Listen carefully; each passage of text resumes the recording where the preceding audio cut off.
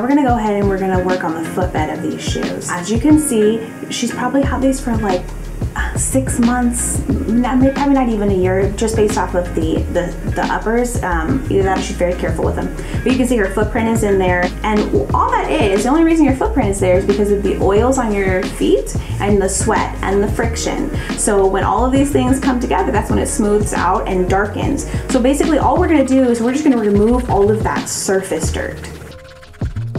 So because these are not my shoes, these are somebody else's shoes, I'm going to go ahead and glove up and we're gonna clean up the footbed of her shoes. Um, just so that you know, if ever you send your shoes in for cleaning with us, we don't clean the footbed and the reason why we don't clean the footbed is for sanitary purposes. We've had shoes that have been sent in to us that smell like urine, um, we've had some that have had blood on them. So just as sanitary reasons, we don't typically do this. So this is me showing you how to do this and keeping myself safe at the same time by using the gloves. Her shoes were not an example of what I just said, um, but these are these are well-worn shoes and so all that we are doing right now is we're just removing the surface dirt from the footbed.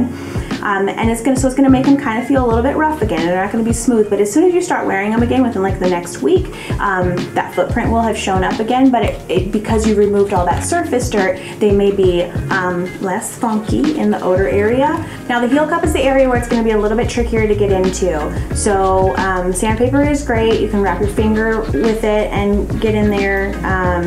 It's just gonna be the most difficult area to get into just because of the contours of the um, of the footbed. Um, but just making sure that you get in there so that way you've got a, you've got a clean slate um, to start walking in the next day, which is awesome. Um, but just have patience, you've got this. And now I'm just going through with the suede brush to just, again, bring up some of the nap. I'm also getting out a lot of the dust that I just pulled up with the sandpaper. Also by going over the entire footbed with that brush, it also helps to smooth out any of those striations because some of those areas you're only able really to work in one direction, especially on the sides of the of the footbed. All right, so now that we have the footbed clean, I just wanna show you before and after. So again, your shoe will eventually look like this again as soon as you start wearing it, but at least you know that you're walking in a clean shoe.